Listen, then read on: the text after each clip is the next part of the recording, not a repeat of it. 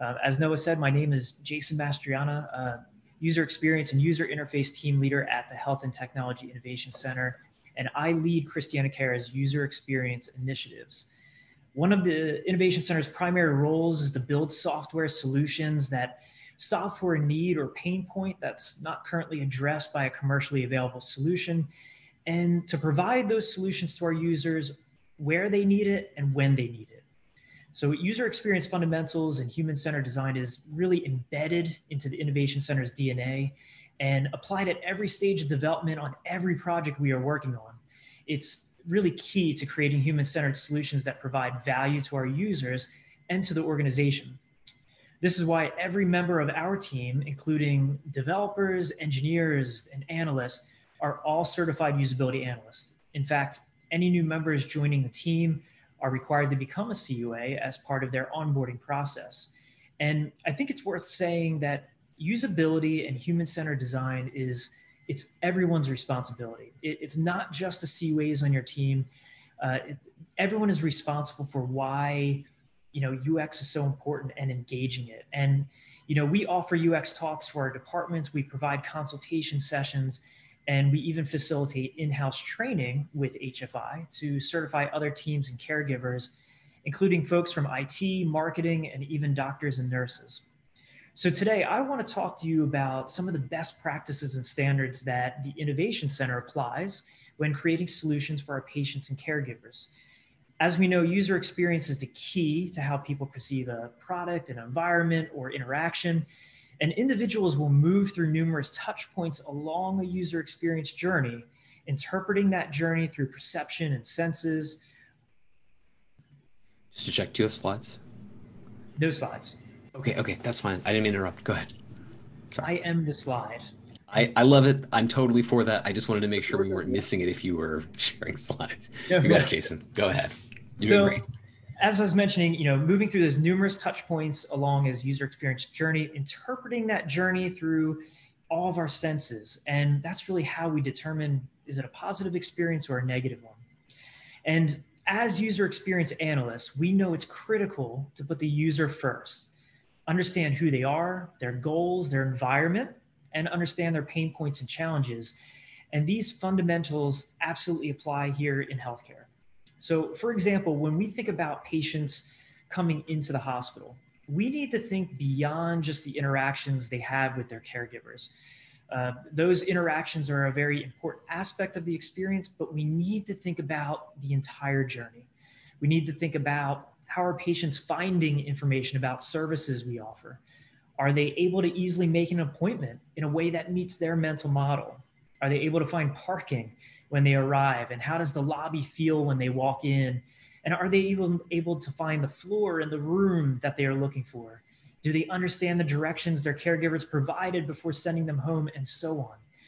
So, as caregivers, we don't know if someone is coming into the hospital on the best day of their life because they're about to hold the newest edition of their family for the first time, or if it's the worst day because they may be saying goodbye to a loved one one last time. So we need to be conscious and we need to understand all of the touch points and scenarios in which users may encounter along that journey to ensure we are providing an experience that contributes to their health and well-being and that does not contribute to additional anxiety and fear that some individuals may already be experiencing. The Innovation Center had the opportunity, you know, to collaborate with a project uh, with our Cancer Center team a few years ago and that was called Positive Distraction Therapy. This project started out as a conversation over dinner between a caregiver and their friend who was a patient at the cancer center and wanted something to pass the time while receiving chemotherapy treatments. Now, chemotherapy is traditionally administered in a group setting, and other than TVs or speaking with other patients and family members, patients have little to distract themselves from their surroundings and the situation for some patients, these, this environment can result in boredom and anxiety. So patients might even see others around them who are not doing well with their treatments, leading to symptom distress and eventually discontinue their treatment early. So this was an opportunity to address a critical pain point and build a solution that could provide a positive impact on our patients. And again, this project really began simply by having a conversation and actively listening to a pain point that someone is experiencing firsthand. And the key to any user experience is to know thy user, for they are not you. The Innovation Center collaborated with the experts from the Cancer Center so that we could gain a better understanding of the users, which in this case included the patients and the caregivers working in the Cancer Center at the time. By collaborating with the Cancer Center, we gained crucial insights and we didn't have to rely on making assumptions. We could see firsthand what was involved when patients entered the Cancer Center, how they checked in, uh, where they sat, and how they even received treatment everyone on the team continuously observed how caregivers and patients interacted with one another to fully understand all of the touch points involved. Again, this is why it's important that everyone on the team understands the fundamental principles of user experience, not just the CUAs, because everyone can help bring a diverse perspective and their expertise to a project. From there, we could begin making decisions on how to best deliver an experience for our patients in that setting. Now, at that time, we already were exploring some immersive technologies such as virtual reality, and that appeared to be a good fit for this project. But there was a lot of unknowns going into this project. Will the patients want to use virtual reality? Will the videos make the patients feel sick? Will they like wearing a headset? Can we keep the equipment clean? And what equipment do we need? And more importantly, will this negatively impact the caregiver's workflow? But it's through the continuous observation, working with the caregivers, being hands on, and talking with real users, we could gain the information we needed. And we ended up building a custom software solution that provided our patients with a way to virtually leave the four walls of the hospital during their treatments and be immersed in the sights and sounds of tropical beaches, majestic waterfalls, and even kangaroo watching, which that was a popular one. And in fact, during the beginning stages of the project, most of the videos being shown to patients were homemade and featured local areas and landmarks.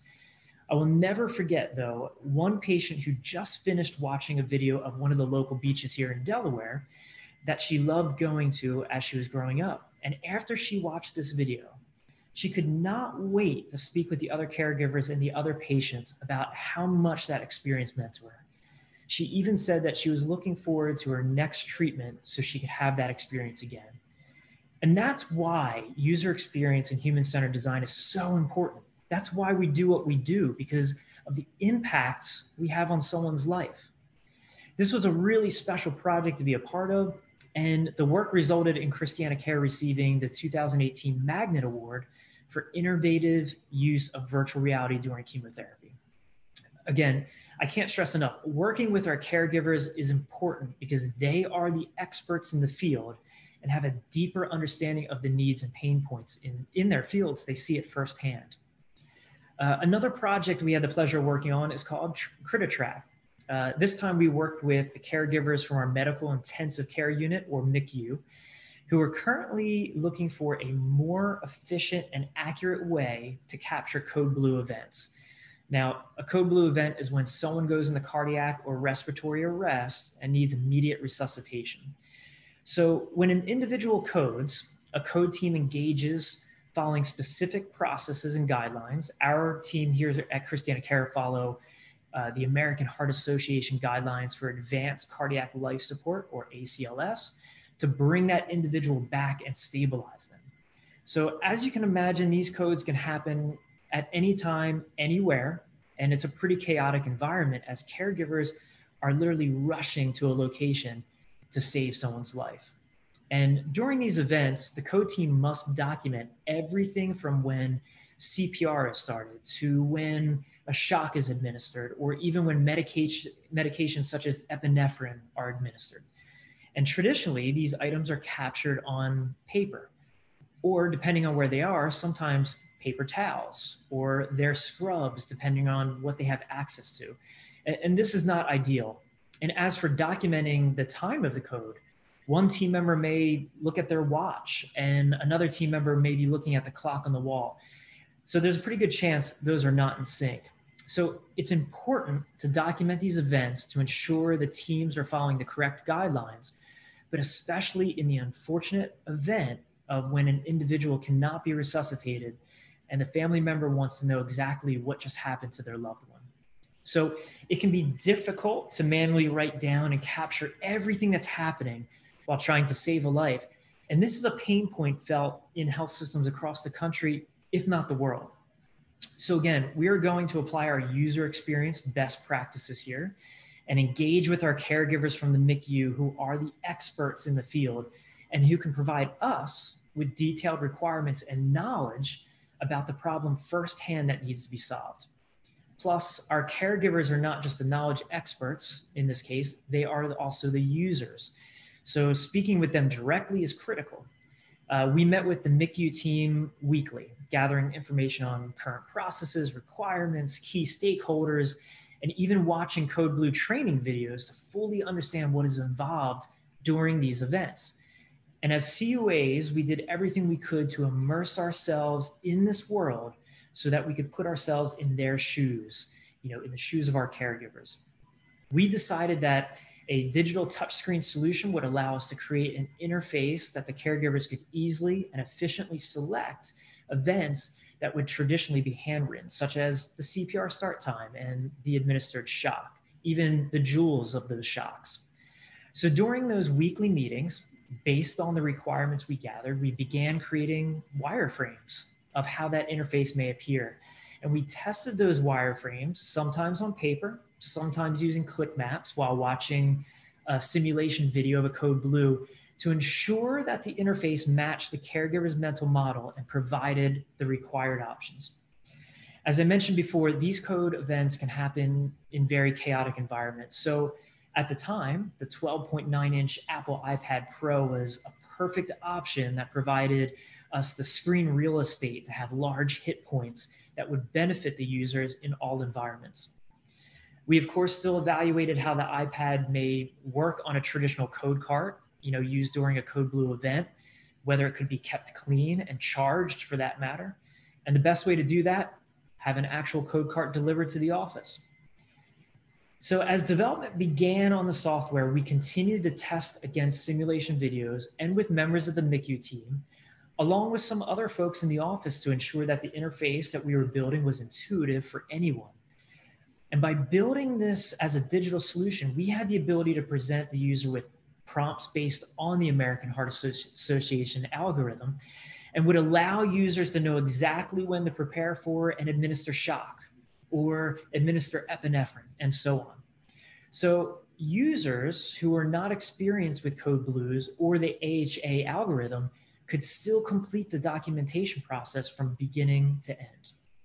And one thing I should mention here is applying UX practices in human centered design does not mean you cannot be agile. I know there's some discussion around that. This project went from concept to reality and was de- as deployed as a proof of concept in two clinical areas in just six weeks.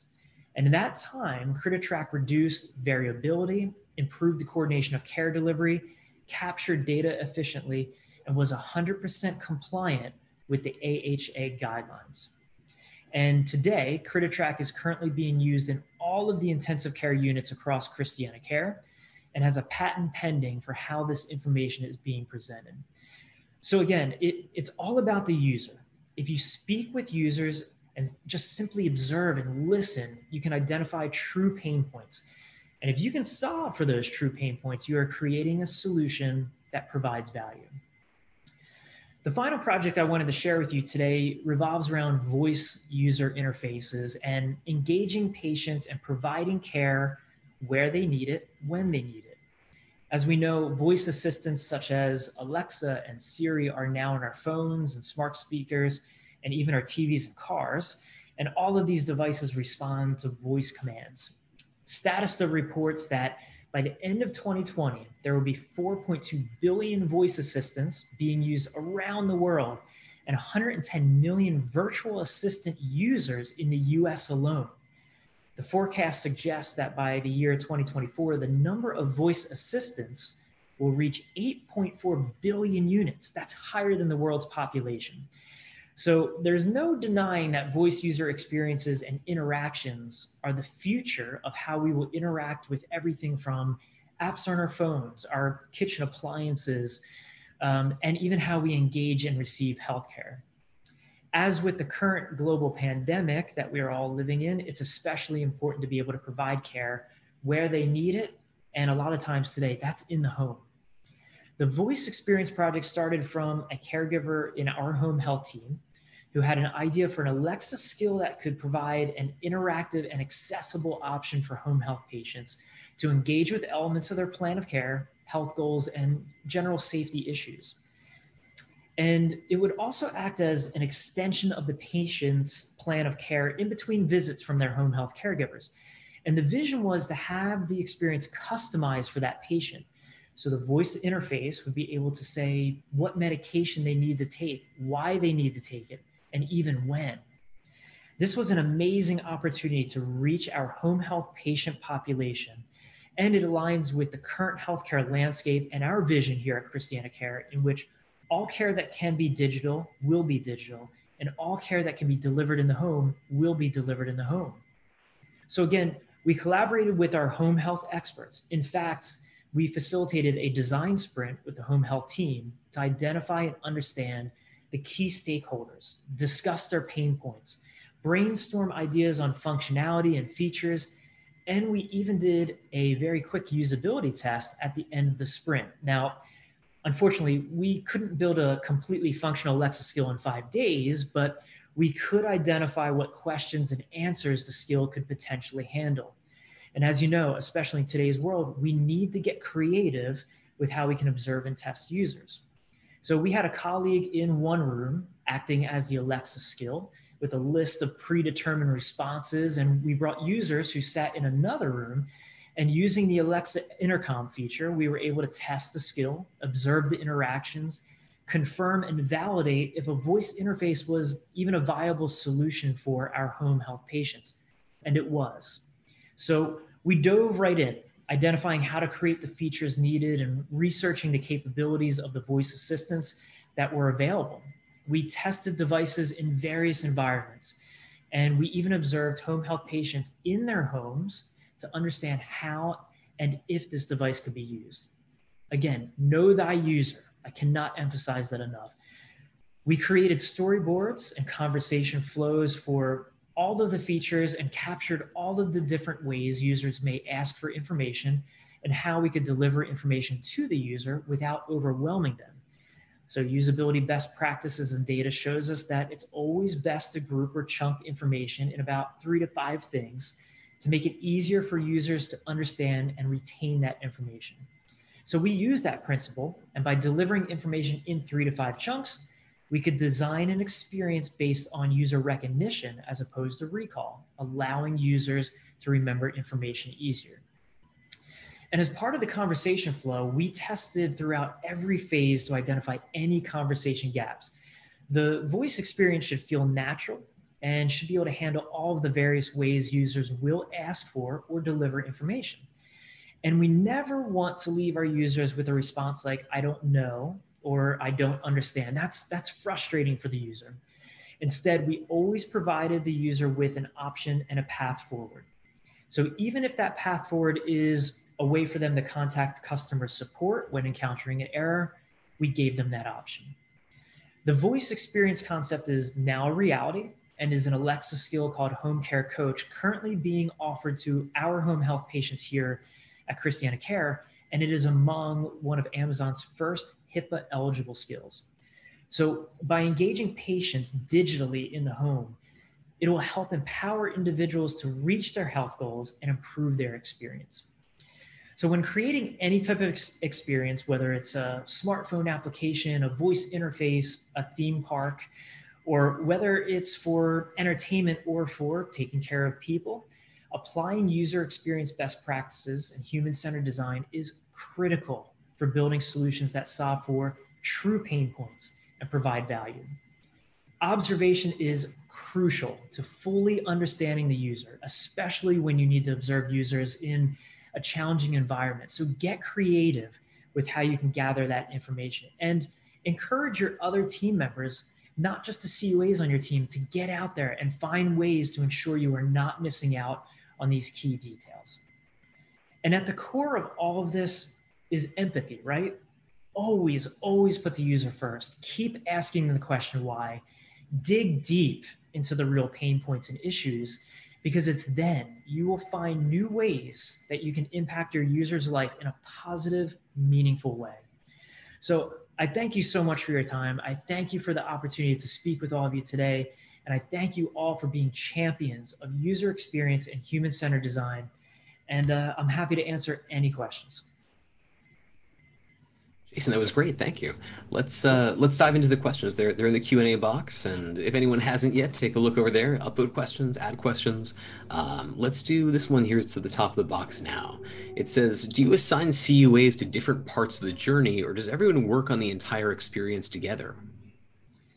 So traditionally, we work on a project together. Uh, you know, I think it's really important. Everyone has their expertise. Everyone has their perspective and their experiences that have brought them to this point. So um, we really bring everyone in for the entire journey. And you know, the the positive distraction therapy piece uh, project that I was talking about with the virtual reality in the cancer center. Everyone on the team, developers, engineers, analysts, managers, team leaders, everyone went to the cancer center. We were all there hands on, talking to the patients, working with those caregivers. So everyone is aware of what's happening. And, you know, again, I think it's important to have those different experiences and different perspectives of how we can improve ex- an experience uh, that maybe one person wouldn't think of. So I would encourage that, if possible, your entire team is a part of it, or at least, at the very least, have a meeting that that shows the research and the observations that some of your your members are finding because otherwise they're going to be out of the loop. You know, how can you design a feature that's going to help a patient if you don't know why you're making it or why they need it? So making assumptions uh, is is never a good thing. Great. Uh, next up, speaking to your experience of UX within Agile, did those six weeks include the design and observation phase, or was that exclusively development? If it's the former, if it included the design and observation phase, do you have any advice for successfully implementing UX in an agile or safe format? Yeah, that, that that's a great question. Um, so when we met with the MICU team, they had presented this idea to us, uh, you know, about the code blue and documentation.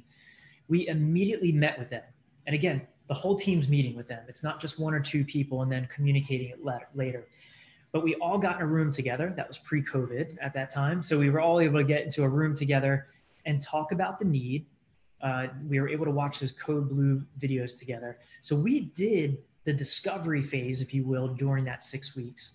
We were able to create the wireframes. We were able to do the development. You know, sometimes we do a, a minimal viable product, something that we can just get out to the folks to prove the value because the one thing we don't want to do and, and this is key i think for any agile teams is see you know do as much as you can do. See what you can accomplish because you don't want to involve infrastructure and all these other teams because one it won't be agile anymore. They have their own processes and steps but you want to prove out that value first as your team and i think that's why it's key to have the analysts and engineers and developers on your teams. And it's even better if they're all certified usability analysts, because then they're all coming from the same perspective. But because we were in that unique situation, we were able to, yes, do the observation, development, and roll that out within six weeks. And you know, we were able to prove out the value of CritiTrack just in a couple weeks after that. And now that's why CritiTrack is a viable solution and a trusted solution here at Christiana Care. Great question. Thank you. Awesome. I think we have time for, for a little more. Um, so this person's asking, some persons, some companies I've worked for have said that we don't have time for usability testing. How would you test users if you're restricted in that way? That is always a great question. I, I would always say, if someone had the time to tell you they don't have the time for testing, you had the time for testing. I mean, you could do a quick observation on a piece of paper, a wireframe drawn on a napkin, put it in front of a user, ask some questions, and just start getting feedback. Are the buttons labeled correctly? You know, can they find what you think they should be finding and, and looking for? And we have a lot of great tools, you know, digital tools, optimal workshop, and things of that nature, but nothing beats just hand drawing something on a piece of paper and putting it in front of a user. And I would say, from an ROI perspective, a lot of companies will say they don't have the time for testing, but do you have time to work on a project for three months, six months? And you're building that off of assumptions. And at the end of those six months or nine months, whatever it might be, none of your users want to use it. They find it frustrating, it's buggy, and it doesn't answer any of the pain points they even had. So, is it more valuable time to take 30 minutes to talk to a user, or would you rather spend six or nine months building a solution that has no value and no one wants to use? So, I would say there is absolutely always time for testing. Yeah, that's fantastic. Yeah, I've heard a few phrases like that of like uh, everything gets usability tested eventually If you skip it, then the first time the user sees it is your first usability test, and that's an expensive way to do it. Yeah, or exactly. yeah, do you have time to not do it? Right, same kind of thing. Mm-hmm. That's great. Uh, next up, yeah, uh, so with voice assistants, uh, so so yeah, the, the voice assistants. Do, do you have time to worry about sorry i'm i'm uh, miss uh, i'm not saying that quite right with voice assistants did you have to worry about violating the hipaa regulations with regards to medication reminders uh, for example was there a concern about someone other than the patient overhearing the voice assistant yes so absolutely that that was part of our processes and in fact we started working on this solution before amazon was even ready. This was before amazon was even hipaa compliant. And mm-hmm. and that brings me up to a point of i would say anytime you're trying to develop a solution for a true pain point for your, your user don't let technology restrict you. You know we knew amazon at the time had some limitations but we kind of assumed that at some point they were going to get to a level that was going to accept a, a solution like this and and that's what happened so we built it in the mindset knowing that yes, we have to keep HIPAA in mind. This was not ready for prime time or for the market at that point because, again, Amazon wasn't. But we then started working with Amazon on this and became, you know, got to collaborate with some of their health teams that were slowly starting to roll out that HIPAA compliant or HIPAA eligible pieces. And by working with their health teams and our experts and legal here at the Christiana Care, we were able to make sure that we stayed within those those refinements. Uh, you might know that Alexa now has a, a passcode that you have to say uh, before you can get into some some medical information, and they're still working through that process as well. But we wanted to try something. We built it. Amazon finally, you know, lifted those restrictions, and we were able to implement that. And now that solution is a reality. And honestly, uh, we're going to see a lot more medical oriented voice assistant type applications as we move forward and probably brand new laws regarding from HIPAA and you know from the, the products that we're seeing out there. So you're definitely going to see more of this.